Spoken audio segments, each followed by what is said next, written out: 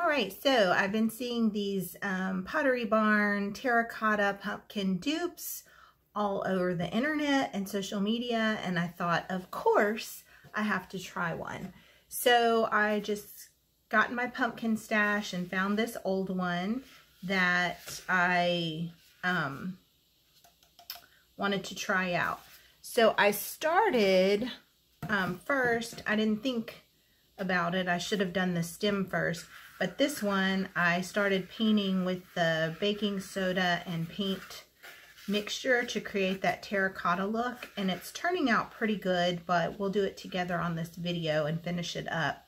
But after I started, I thought, oh my gosh, I should have formed my stem first.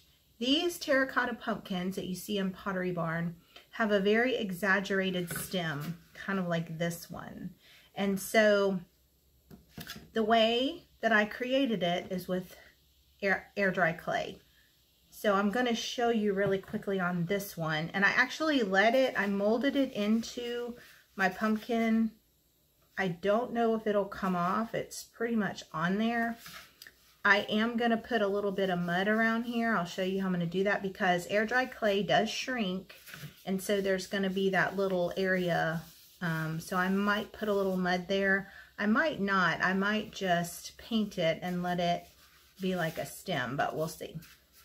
All right, so this one, let's go ahead and mold a little stem on. Of course, we'll have to let it dry, but I'll show you how you can do that. And then we'll go back over it once it's dry and paint it all this terracotta. All right, so in a previous video, I talked about air dry clay and how I had not had very good luck storing it. But I had discovered that, you know, even in an airtight container, um, it was still drying out on me. But I discovered that if I put it in an airtight container in the refrigerator, um, it is lasting much longer and I'm not throwing it out like I was. All right, so I'm just going to work this clay. And I'm using Iron Orchid Designs Air Dry Clay, which I have available on my website, markethousedIy.com. It is $11.99. And I'm just beginning to form. I also did a previous video on how to make these stems. So be sure to check it out on my channel and I am just making it smaller towards the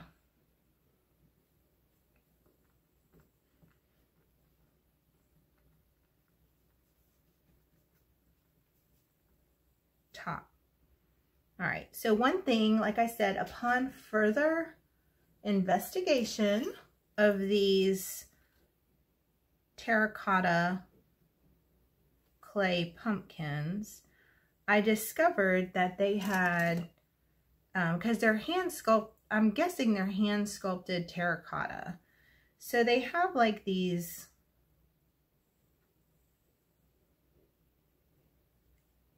hand sculpted ridges along the stem. All right, so I'm going to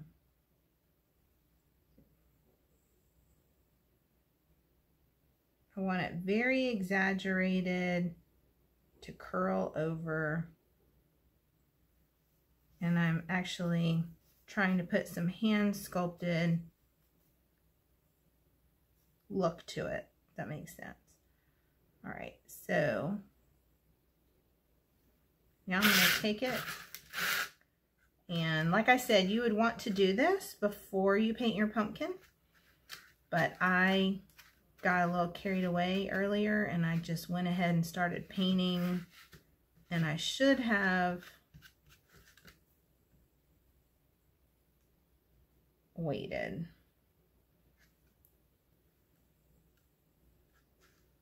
All right, since this pumpkin stem will be on this pumpkin, I am mashing it down so that it fits on there really good. and shaping it.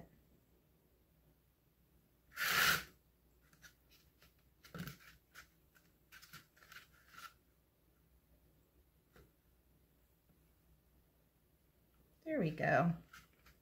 All right, so that's what you would do. You would form your stem out of air dry clay and make sure it has a nice hand sculpted look. I really kind of like the way that one's twisting. And then you really need to let it dry overnight. So I'm going to set my pumpkin aside. I might have to go in and reinforce it with some glue. This one stuck on there and I, did, I don't think I'm going to have to do that but that one was yet to be seen. Um, it is just a little ledge there, and so I'm going to take a little bit of um, mud and see if I can, just like you would on your sheetrock or your, if you're fixing your walls. I'm just trying to disguise that ridge there that was created when I sculpted the clay onto my pumpkin. This will also create a textured look, which will be perfect for the overall finished effect of a terracotta pumpkin. And I am using Dixie Belle mud in white um, you could probably use any color since you're going to paint it. It comes in brown and black, which when you're refinishing furniture, that makes a difference sometimes, but in this project, it really does not. Dixie Belle Mud is another product that I have found if I keep it in the refrigerator, it lasts much longer and think they actually advise that once it's open on many of their tutorial.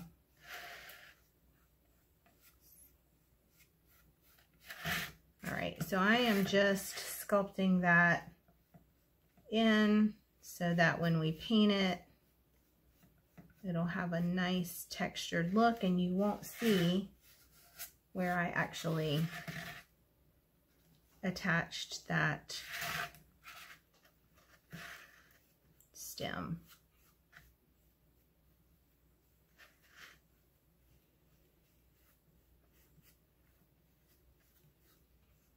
All right, so the, for the best results, we are going to let this dry overnight.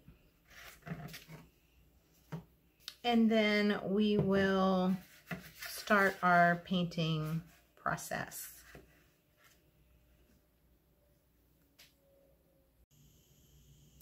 Now that my mud has dried, I'm going to go ahead and put a base coat of terracotta color onto my pumpkin. Now, I'm going to use a couple of different things. This is just basic folk art paint in the color terracotta. And then this is actually folk art terracotta paint, which has some added texture to it and we are to use both of them. So I've got a dry brush and I'm just going to, this first coat is just to get the color onto my pumpkin. This is not adding the baking soda yet. We are just getting some color, a good base coat on the pumpkin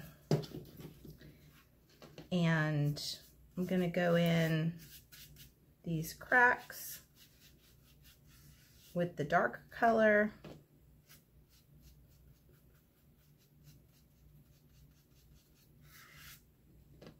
And then I'll go in the raised portions of my pumpkin with the lighter color and we'll do some quick blending.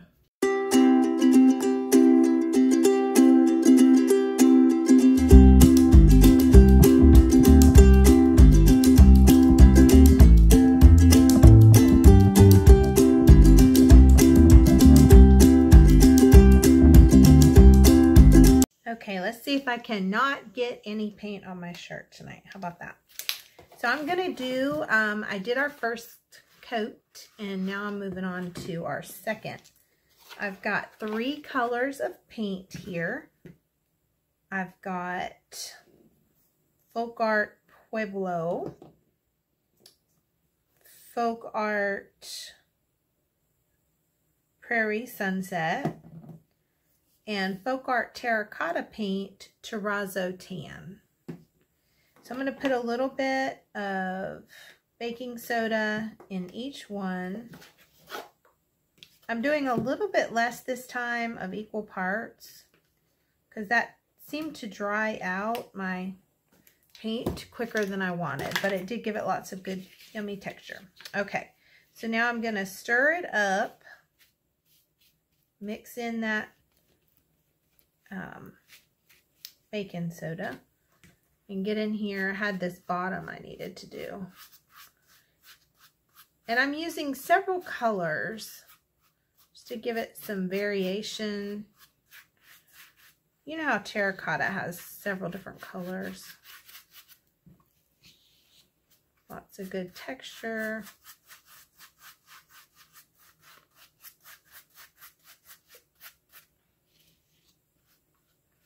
I didn't do the bottom earlier because obviously I had to let it sit and dry. I'm going to mix some of this color in around so it's round on my all over my pumpkin here and there. All right.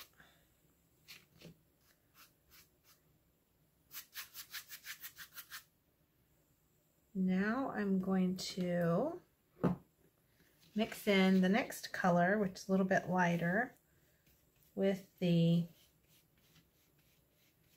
baking soda. Just plain old baking soda. And I'm gonna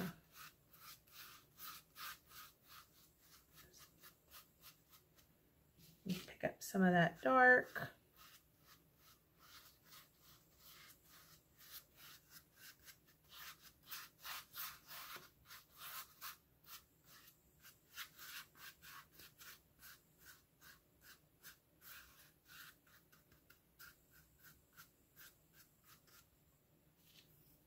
I'm going to put a little bit more of that dark.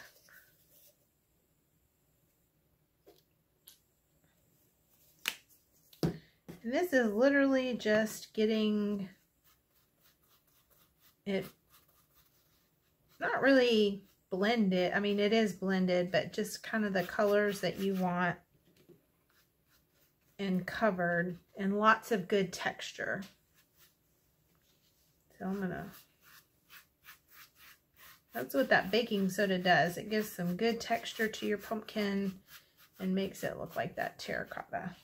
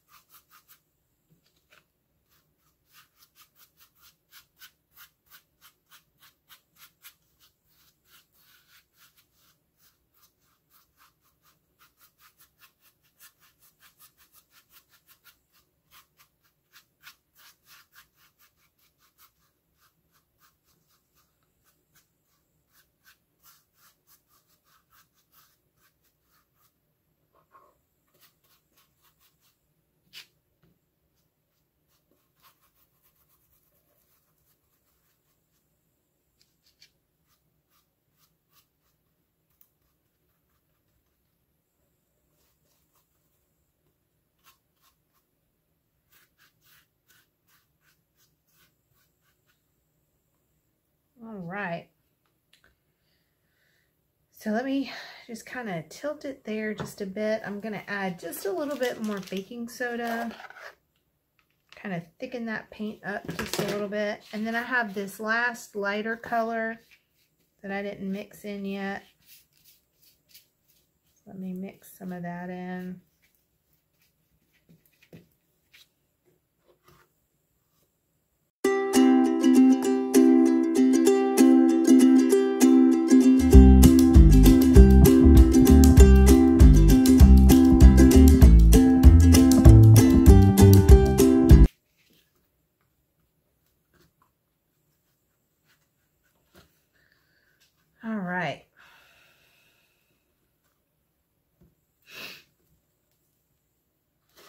All right, that looks pretty good, guys. Pretty darn good. Now, I'm going to let this dry. I know it's a process, but so worth it. I'm going to let this dry, and then we are going to come back and do the final steps, I promise. I'm really kind of nervous to do this, but I'm going to try to do it just right here. So the next step is supposed to be, while it's still kind of wet, to take some baking soda and sprinkle it on your pumpkin. Some tutorials will tell you to use flour. And then the next step is to brush it off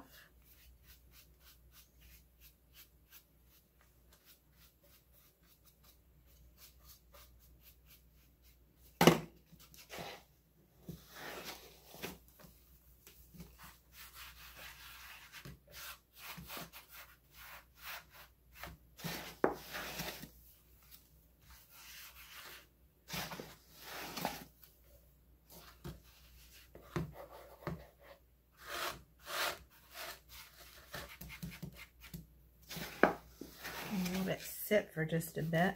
I think I brushed it all off. Oh, I got my plate stuck.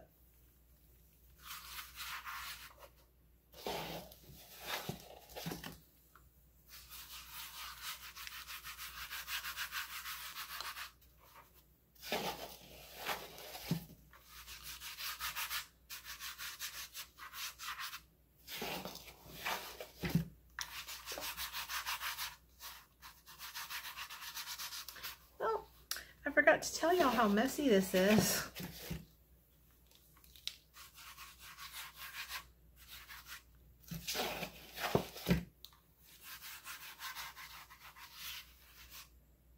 Guess I could be picking up some from here.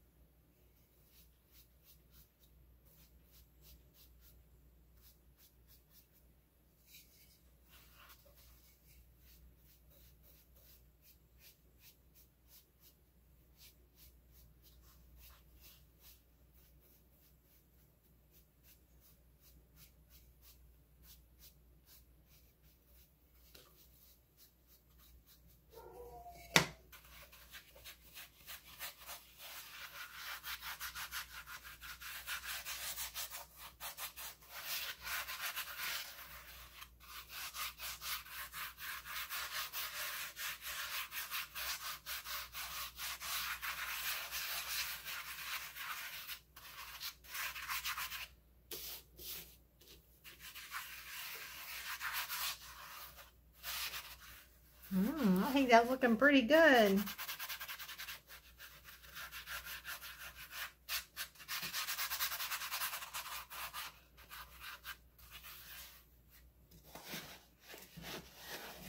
I do think I'm going to touch up a little bit of paint here and there.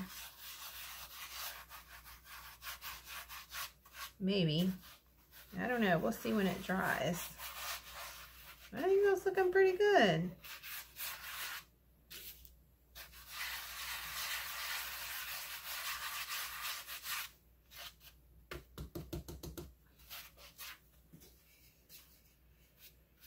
嗯。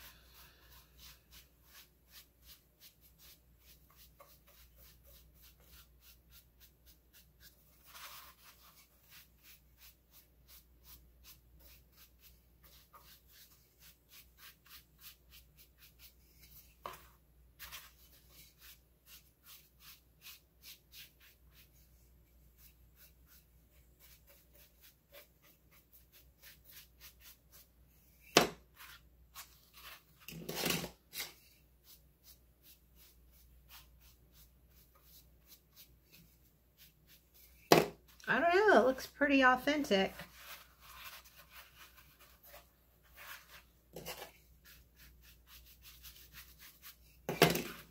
All right.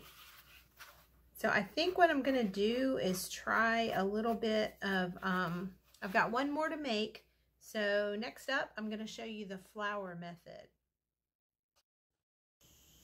Here is my pumpkin that I did with baking soda and I'm pretty pleased with how it turned out. It looks really good. It looks like hand sculpted terracotta and um, I don't know, I really like the results. So I followed this tutorial that I watched, a couple of them, and I did what they said, and it looks pretty much like a terracotta pumpkin. So I'm pretty much loving that. So the next thing I was going to do is try one with flour. So again, I sculpted my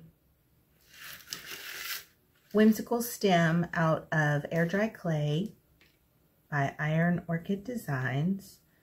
And I am going to, to glue it down and then I'm going to mud in the crevices, let the mud dry, and then go back over it with another coat of paint.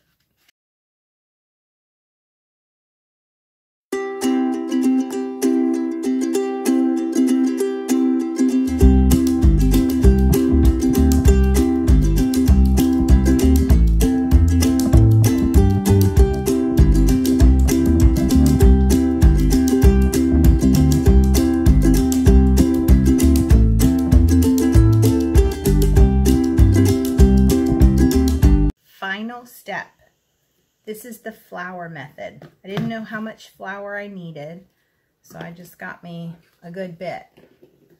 So this is the pumpkin that you saw me paint ready for a flour. So I'm just gonna, this is messy, I'm gonna sprinkle this flour on my pumpkin and I'm gonna rub it in.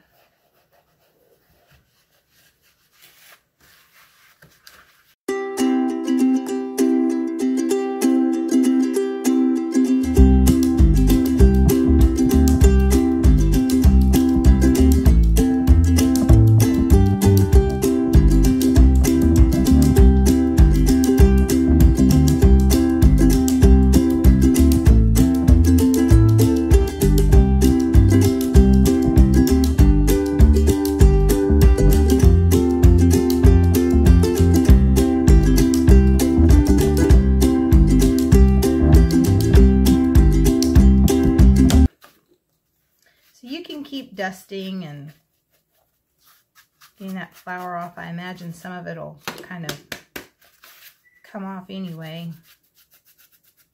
But that is the flour method. So I have the um, baking soda method and the flour method. So, oh, I see some flour in that stem. So you choose and um, make your own terracotta pumpkin. And I hope you will. If you do, post your pics in the comments. I'd love to see your finished product and know if you changed up any of the steps, if you did anything different.